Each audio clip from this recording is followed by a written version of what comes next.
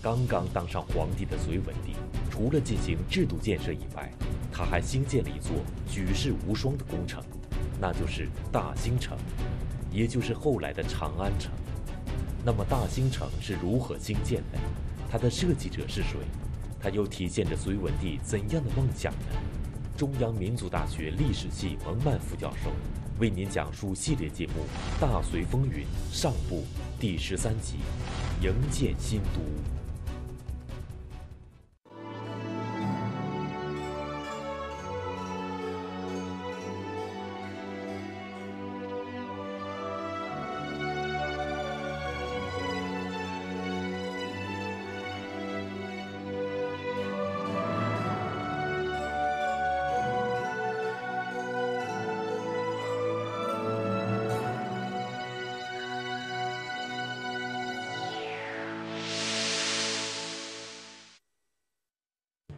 隋朝刚刚建立，隋文帝就进行了三项意义重大的制度建设。与此同时，他又启用新人辅政，帮助他治理国家。经过一番制度和人事的变革，隋朝的中央集权显著加强，整个国家也欣欣向荣。可是隋文帝觉得还不够，他要建一个有形的东西，让人一看上去就能感觉到君王至高无上的权威。也能感受到这个新王朝的宏大气魄。这个有形的、天下人都能看到的东西是什么呢？隋文帝决定要建一座都城。那么，隋文帝建造的新城在哪里呢？它又具有怎样的风范？中央民族大学历史系蒙曼副教授做客百家讲坛，为您讲述系列节目《大隋风云》上部第十三集。营建新都。那既然谈到要建新都，我们就要知道一下了，原来的都城在哪儿啊？因为隋朝继承的是北周的天下，其实也就把北周的都城记载，呃，这个呃继承下来了。北周的都城呢，其实就是当年西汉时候建立的长安城。西汉拿它当首都，西汉之后，王莽的新朝还定都在那个地方。接下来呢，就是东汉。东汉末期和西晋后期，以及少数民族政权建立的这个后赵啊、前赵、前秦、后秦，还有西魏、北周五个少数民族政权均定都在此。这个地方呢，已经用了将近八百年了。那到底在哪儿啊？就在这个渭水南岸的龙首原上，这是此前的旧都。那大家说八百年的建成史了，这是一座古老的城市，历史悠久。隋文帝为什么不愿意定都在这个地方呢？他有三个理由。第一个理由啊，长安城里有鬼怪。鬼怪什么鬼怪啊？这个史书没有记载，反正呢就是神出鬼没，鬼气森森。这是第一个原因。那第二个原因是什么呢？第二个原因呢是长安城的水有问题。水有什么问题？水的第一个问题是水污染问题，啊，水污染我们今天都知道是一个啊大问题了。可是水污染不仅今天有，古代也有。刚才我们讲长安城八百年的建成史，多少代人在这儿生息繁衍，而且古代的排污技术又不太好，所以浅层地下水早已经被污染了。按照当时的说法，就是水皆咸卤，不甚宜人。这个水没法饮用，这是水方面的第一个问题。第二个问题是什么呢？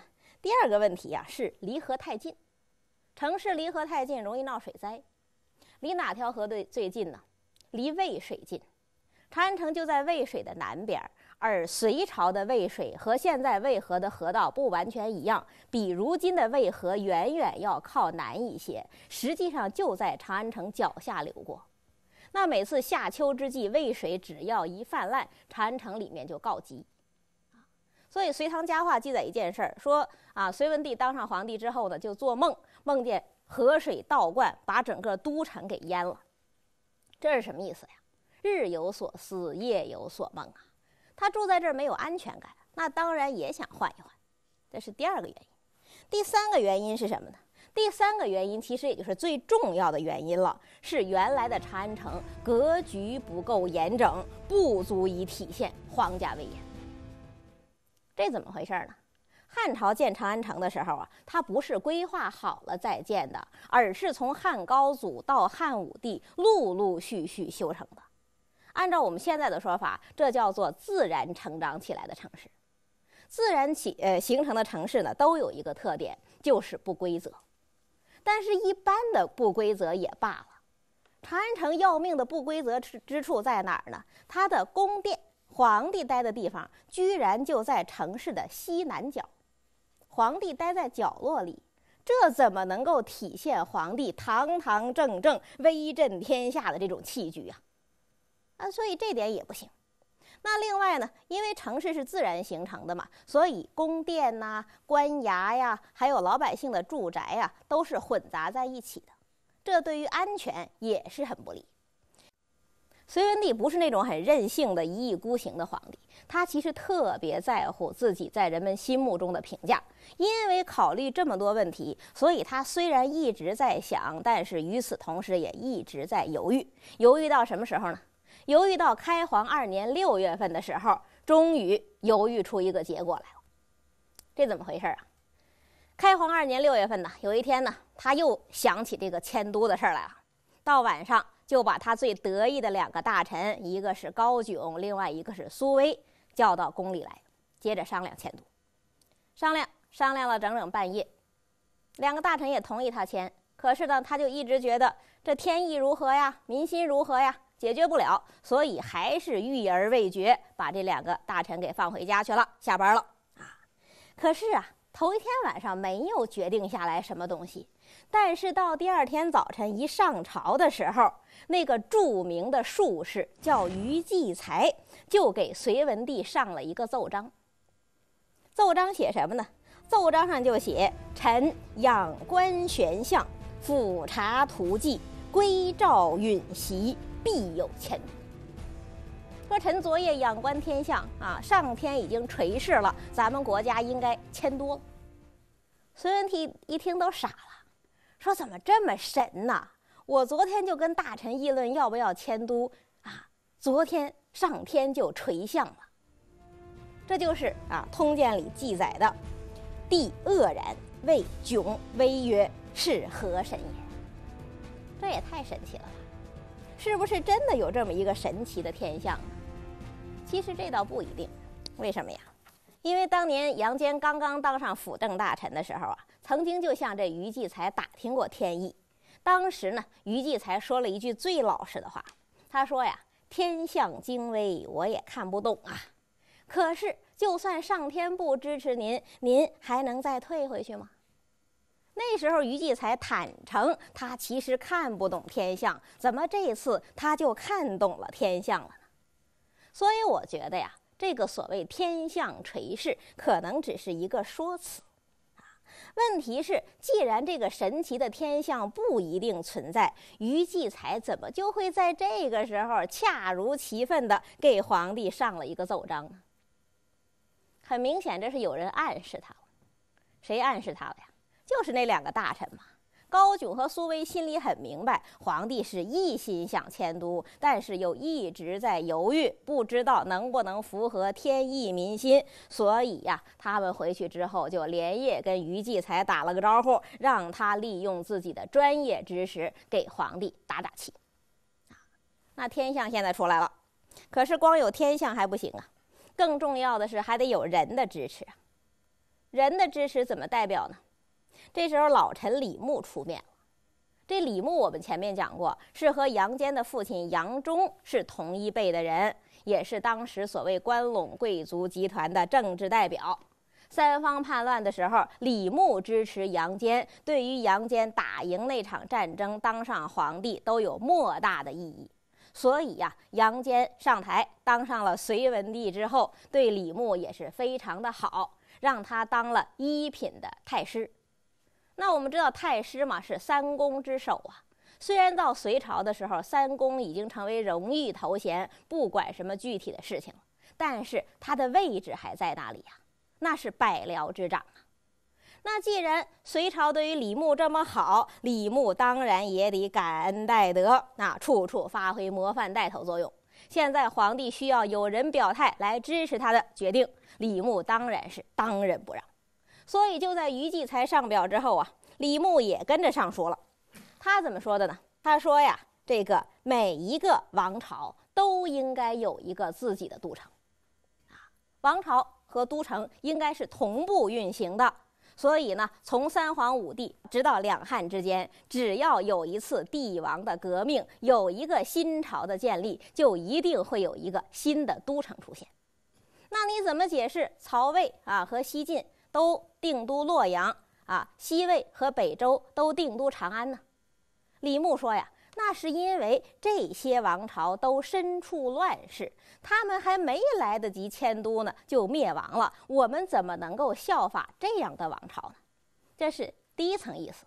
第二层意思呀，他说：“陛下您是应天顺人的一代明君呐，一登基就移风易俗，开创了崭新的大好局面，所以您完全有资格、有条件来定一代新都。”这是第二层啊，歌颂皇帝。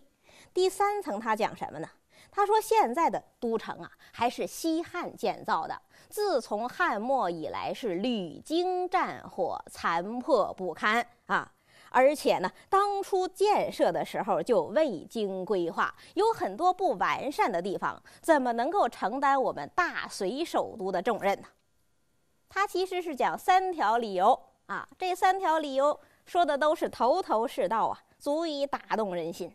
杨坚一看，嘎大喜过望，就说呢：“天道聪明，已有征应，太师民望，复抗此请，则可以。”现在天道人心都已经表达出自己的意思来了，看来我们迁都是一个合理的事情，那我们就要决定。迁都的决心已经下了，但是呢，要把它变成现实，大家知道还得解决一些非常复杂的问题。哪些问题啊？第一个问题，迁都迁都迁到哪里去？新的都城要放在哪？第二个问题，啊，这么大的工程怎么来规划呀？第三个问题。怎么样在国家财力不太雄厚的情况下就把这城建起来？先看第一个问题，新都建在哪儿？那我们都知道嘛，这个关中平原是劈山带河呀，进可攻，退可守，八百里秦川是好地方。隋文帝呢是不想离开关中平原的，何况这儿还是关陇贵族集团的核心地带，老巢所在，他不能放弃这块地方。不仅不能放弃关中平原，他连原来旧都所在的那个龙首原都不想放弃。为什么呢？龙首龙首，龙的头在这儿，这么吉利的地方，你再换了换到哪儿？那我们讲，又不能离开关中，又不能离开龙首原，那还牵什么劲儿啊？原来的旧都在龙首原的北半部分，现在呀，隋文帝看好了龙首原的南坡了。他觉得这个地方地势比较开阔，可以容纳一个大一点的城市。另外呢，南面嘛，离渭水就远了，可以避免水害的问题了。那就这样，他看中龙首原南坡了，这个第一个问题算解决了，迁都就往南迁一点。那第二个问题，怎么样规划呀？要知道啊，这次营建新都可是一切从零开始。一张白纸好做文章，但是也得看谁来做这个文章，啊，规划不好，那整个这个都城可就要出大问题了。那请什么人来规划呢？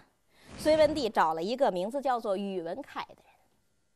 宇文恺那是中国古代可以说最伟大的建筑家之一了。这个人是怎么样一个背景啊？根据《隋书·宇文恺的呃宇文恺传》的记载呀，宇文恺呢是鲜卑人。他的父亲叫宇文贵，跟杨坚的父亲杨忠一样，都是西魏十二大将军之一，出身武将世家。他的哥哥宇文新就是帮杨坚平定尉迟景尉迟迥叛乱的一个重要的将军，全家都是武将。只有这个宇文恺呢，是好学博览书记，结书文，多记忆，号为名副公。他跟他们家其他人不一样。怎么不一样呢？他表现出两个特质来。第一个特质是说啊，他呢多记忆。在古代讲多技艺，是说这人是一个技术专家，啊，具体说来就是一个建筑技术专家，专家型的人物。这是第一个啊，很重要的优点。第二个，宇文恺的优点是什么呢？是说他博览群书。所谓博览，那就不是只看工程技术类的书籍了，他还有普遍的阅读爱好，有普遍意义上的人文修养。那能够把专业技术和人文精神结合起来，让技术工艺体现出文化内涵，这当然是难得的人才。那现在隋文帝把如此重要的营建新都的重任交给他，所以他得卖劲儿啊。那么，怎么完成这么一个光荣而艰巨的任务呢？因为是一座新都嘛，一切从新开始。宇文恺就在脑子里先建了一座城。脑子里建成，他要考虑什么问题呢？宇文恺觉得，既然这个城市要做都城，那必须符合三项条件。哪三项条件？第一，这城啊要气派。第二，这城的文化意象要好，要吉祥。第三，这城呢一定要安全。那怎么保证气派呀？气派是要用规模来保证的呀。所以宇文恺怎么样规划这个城？这城有多大？根据他的规划呢，这座新城东西要宽九千七百二十一米，南北要长八千六百五十一米。那总的周长就是三十六点七公里，核算下来，这城的面积就是八十四平方公里。八十四平方公里是多大的规模？不比不知道啊！那我们就比一比，它呢，我们先跟国内的其他城市比，它是西汉长安城的二点四倍，是明清北京城我们脚下这座城市的一点四倍。那我们也知道，西汉长安城和明清北京城都是古代大规模的城市了。那新建的这座城要比这两个城市还大很多，可想而知，在中国的城市中是无出其右。这是纵比。那我们再来看横比，跟世界其他城市相比，它是一个什么样的状态？宇文恺心目中的这座城市啊。是啊，黑衣大石，也就是阿拉伯帝国的首都巴格达城的六点二倍，是东罗马帝国的首都拜占庭城的七倍。为什么我们单独提出了巴格达城和拜占庭城？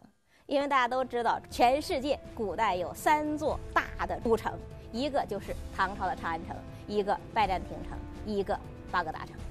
那唐朝的长安是沿袭的隋朝的大兴城，这三个城号称世界前三强。那我们现在看出来了，这第一强隋朝的都城比这第二强就大了六倍还有余，这是一个相当大的规模了。这么大的规模，其实也是全人类在进入近代以前建的最大的一座城市。这当然够气派，这是第一个。气派。第二个，我们再看文化，有了气派，文化怎么体现呢？这文化呀，用结构来体现。宇文恺把整个这个新城分成了三个区。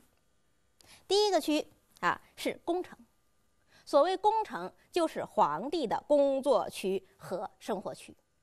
这个宫城呢，在整个城市的最北面。为什么在最北面呢？因为宇文恺说呀，皇帝呢就好比天上的北极星啊。北极星在中国古代那是一颗政治明星，孔子就说过嘛：“必如北辰居其所而众星拱之。”众星拱卫北极星，那就犹如全国人民拱卫皇帝一样啊。北极星既然在天上的最北边，皇帝呢就也得在都城的最北边。这是第一个区域，叫宫城，在最北边。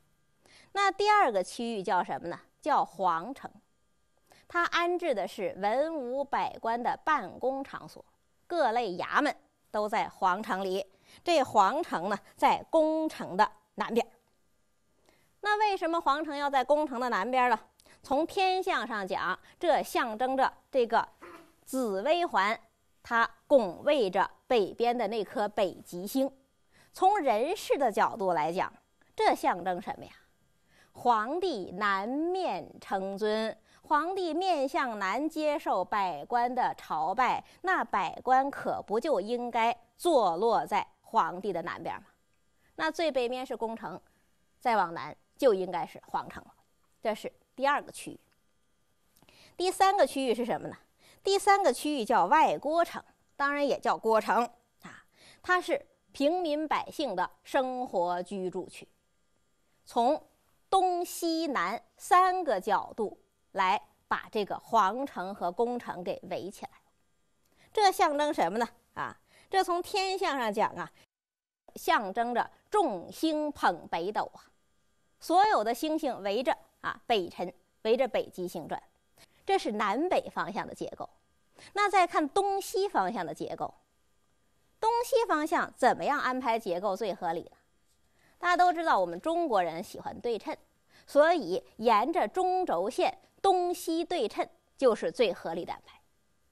那中轴线是什么呢？这中轴线就是从皇城的正正南门一直到整个都城正南门，这个贯通的朱雀大街。朱雀大街有多大？啊，有多宽？它的宽度达到了一百五十米，比今天北京市长安街多三十米。问题是，长安街是最宽的地方，一百二十米，而朱雀大街从南到北贯通下来，全部是一百五十米的规格。这个在我们今天的街道上还没有呢。那在朱雀大街东西两边就是绝对对称的布局。布局什么呢？布局老百姓的居住区，当时叫做坊，每一个坊就是一个居民小区，东边和西边完全对称。因为太整齐了，所以唐朝的大诗人白居易曾经说过：“啊，这是百千家寺围棋局，十二街如种菜畦。”说千千万万户人家呀，就像围棋的棋盘一样整整齐齐的排列；那街道呢，就像种菜的那个垄一样，像菜畦一样。那如此整齐的规划，其实已经很有文化了。但是宇文恺觉得呀，这还不够呢。宇文恺在实地踏查的时候就发现，他在纸上构出来的这个图呢，是一个平面图，但是龙首原并不是平面。龙首原的南坡不是一马平川，它是有几个自然的高岗的。到底有几个自然形成的高坡呢？从北到南一共有六条高坡。这六条高坡自然形成的，你没法改变，那怎么办呢？只能是合理利用啊。怎么利用呢？宇文恺说了，这哪是六条土坡呀？这就是《易经》中乾卦里的那六爻啊。那我们都知道《易经》啊，八八六十四卦，第一卦不就是乾卦吗？那每一卦不都是有六种爻辞吗？所谓爻，就是这个阴阳配合的这样的六种组合方式。那乾卦的六爻到底是什么呢？啊，第一爻叫做初九，潜龙勿用。这龙还没有正式活动起来呢，这叫潜龙勿用。九二。啊，应该是对应第二条高坡了。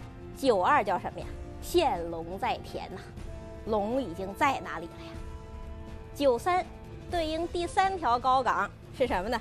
九三是君子终日乾乾呐，君子整天在那儿好好干呢，兢兢业业呢。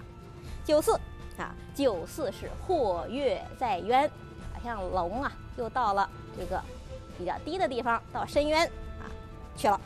九五第五条的高岗叫做飞龙在天，龙腾虎跃，龙飞到最高处。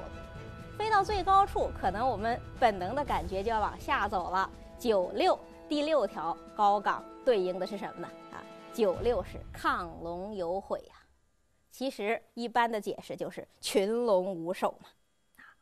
那虽然说每一个卦象、每一个爻辞都有自己的道理，也都有一些转化的可能，但是我们就从字面意思上理解，我们也就会发现了这六爻里哪几个爻辞更好一些呀？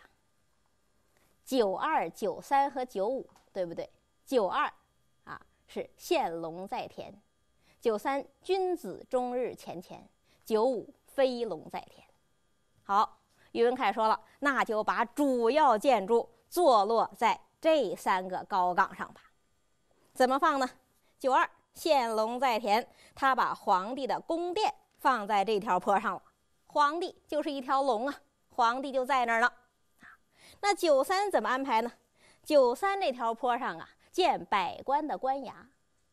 君子终日权钱嘛，百官整天在那儿好好干，这象征为臣之道啊。”那接下来最好的一个词是啊，飞龙在天了。九五九五放谁呀？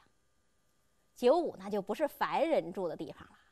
他说把寺院和道观放在那儿吧，不是凡人住，咱们就给神仙和佛祖住吧。只有他们才是飞龙在天。他把他做了这么一番安排。那经过宇文恺这样通盘设计啊。整个长安城就处处透出文化气息来了。这个文化的核心是什么呀？核心其实就是君尊臣卑，皇权至上。这是我们看的第二个考虑的因素——文化。第三个因素——安全。安全问题怎么落实呢？其实啊，把百姓住宅区。百官办公区和皇帝生活工作区给做这样区分性的分隔，已经是出于安全的考虑了。但是宇文恺觉得这还不够呢。为了体现皇帝像北极星这样一个理念，他把皇帝住的那个宫城放在最北面了。北面以北呢，那就是光秃秃的了，无人保护，这怎么能有利于皇帝的安全呢？这个安全隐患怎么解决呀？于文恺大笔一挥，把这个宫城的北面，也是整个都城的最北面，画成了一片禁院，就是皇帝的后花园。说后花园小了，就是皇帝的狩猎场。这个地方呢，其实就把原来旧都都给包括进去了。这皇帝的禁院，凡人都不允许进去，就驻扎军队，专门保卫皇帝。这样一来，皇帝不就安全了？是不是皇帝真的安全了？其实我们觉得这个问题没有解决，为什么呢？因为看唐朝就知道了。唐朝历次发动宫廷政变，不都是勾结禁军从北门打进来吗？不过这是后话了。宇文恺没有想好这一点啊。那经过宇文恺这么一番精心设计，整个新都真是啊，从设计来讲，气魄宏大，美轮美奂呐。这一点呢，可是隋文帝做出表率了。做什么表率呢？低碳环保，废物利用。什么叫低碳环保、废物利用？我们都知道，建一个新都肯定要有大量的宫殿建设。那这个建筑材料木材从哪儿来呀？隋文帝可不是像一般的皇帝一样，一上台赶紧就到处砍伐森林、运输这金丝楠木。他不是这样，他怎么做呢？他从旧都拆过来，拆东墙补西墙。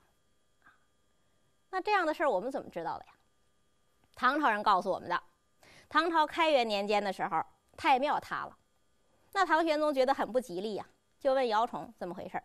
姚崇就跟他讲啊，这太庙早该塌了，为什么呢？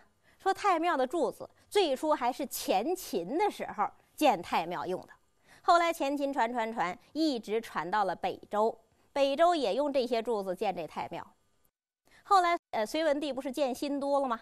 本来应该用一些新材料，可是他没有，他又把北周的那个太庙的柱子拆过来，又建成了隋朝的太庙。而我们唐朝呢，是继承的隋朝，所以我们这太庙的柱子呀，啊，推倒到头，我们继承的是前秦时候砍下来的柱子。这都好几百年了，一个木头它焉有不朽烂之理呀？那我们就知道了，太庙可是中国古代所有建筑中非常重要的一种，连太庙的这个木材都是从旧城拆下来的，其他的建筑材料也就可想而知了。这样简朴的人叫什么呀？在隋朝叫隋文帝，在今天呢，在今天我们管他叫低碳哥啊。就这样，因为隋文帝的雄心，因为宇文恺的规划，当然更因为啊几几万民众的辛勤的劳动，新都呢很快就建成了。到底有多快？开皇二年六月的时候，刚刚开始规划，到开皇三年三月份，隋文帝已经率领文武百官搬家了。这么大的都城，一共用了十个月的时间，这在世界建筑史上也是奇迹呀！那么这座新都它叫什么名字呢？隋文帝给它起了一个名字，叫大兴城。为什么叫大兴？这是隋文帝在北周时候得到的爵位的名字。我们知道，在北周时候，隋文帝刚刚踏上仕途，得到的第一个爵位就是大兴郡公。在隋文帝看来，这大兴郡公就是他一生伟大事业的开始。那现在呢，他希望这个吉祥的名字呀，也能够成为这座城市辉煌的开始。从名字就可以看出来，隋文帝对新都。对新朝都是寄予了无限的期望。那我们现在用了这么长时间来讲大兴城的建立了，我们就要分析一下了。这座新的都城对于隋朝而言，到底意味着什么？我觉得有三方面的意义值得我们注意。哪三方面呢？第一面啊，大兴城是隋朝建设的第一项。大的公共工程也是最为成功的一个公共工程。为什么说它成功？因为它兼顾了气魄宏大和爱惜民力两个重要因素。那我们讲过，大兴城是中国古代建的最大的一座城。不仅隋朝把它作为都城使用，后来的唐朝仍然把它当做都城使用。那我们也知道，唐朝是整个中国古代社会的巅峰。唐朝的首都有一百万人口，一百万人口住在这个地方不局促。除了一些小的修修补补、改造创建之外，大的方面没有进行改建扩建，这说明什么问题？这就说明人家隋朝在规划的时候气魄足够宏大，给后世留下了足够多的发展空间了。这是我们讲气魄，那再来看爱惜民力。这是更为难得的一件事情，建设这么大的一个公共工程，但是没有搞得官怒民怨，这其实就得表扬一下隋文帝了。隋文帝在这里起的作用非常大，他是怎么建这座城的呢？八个字：大胆规划，小心落实。怎么叫大胆规划，小心落实啊？因为他明白，这么大的工程如果一步到位，老百姓的负担肯定特别的沉重。那怎么办呢？他的理念很先进，分期建设。隋文帝时期只建了几个主要的宫殿，还把这个城市的框架给搭建起来，但是其余的都等以后有钱再建。什么时候有钱呢？隋炀帝时候就有钱了。就拿啊他的城墙来讲，就是在隋炀帝的时候有钱的基础上，才又翻新加高的，加到了后来一丈八尺的那个规模。在隋文帝的时候，城墙都是相当矮的啊。那一个封建帝王能够在搞大工程的时候兼顾老百姓的承受能力，这就是一个相当可贵的事情了。我们对比隋炀帝就知道了呀啊。隋炀帝后来修大运河，本来不是一件好事儿吗？不就因为在修的时候没有顾及到老百姓的承受能力，所以才当时造反，后世痛骂。所以我们说，这个大兴城的建设是第一个，但是也是最成功的一次公共工程建设。啊第一点。那么第二点呢？我想说呀，大兴城建设的核心精神是皇权至上的精神。大兴城，它的所有设计和建设都是以皇帝居住的那个宫城为出发点的，是以宫城为原点，层层往南推，离皇帝越近的人地位保证越高，那当然地位越低，离皇帝就越远。这是一个礼教秩序，但是与此同时，无论你地位高低、距离远近，只要你居住在这个城市，抬头看见巍峨的宫殿和整齐的规划，你的心里就会感受到皇帝的威严。而这种皇权至上的精神，也正是隋朝的基本精神。这是第二点。第三点，我想说什么呢？第三点呢？大兴城固然彰显了新王朝的宏大气魄，但是它也显示出这个新王朝某种拘谨的特征啊。怎么叫拘谨呢？因为我们可以感觉到这个城市整个就像一个俄罗斯套娃一样，宫城是它的一个基本模子，皇城呢是宫城的一个扩大版，外郭城又是皇城的扩大版。那另外，城里的每一个坊也是用同一个模子刻出来的。那这样，我们就可以想象了，居住在这个城里的老百姓像什么呀？他都像士兵一样，啊，非常的整齐，但是缺乏个性。这其实就是隋文帝心目中标准的臣民形象。昂扬向上，尊重权威，但是严肃有余，活泼不足。这种既向上又比较拘谨的精神，其实也正是隋朝的精神。那么，在这种精神指引下的新王朝还会遇到什么问题呢？请看下集。就在大隋王朝沉浸在新都落成的喜悦中时。北部边境传来了一个坏消息，一个叫突厥的少数民族突然进犯隋朝。那么在这种情况下，隋文帝应该如何应对？在与突厥交战的过程中，又发生了什么样的事情？中央民族大学历史系蒙曼副教授为您讲述系列节目《大隋风云》上部第十四集：降服突厥。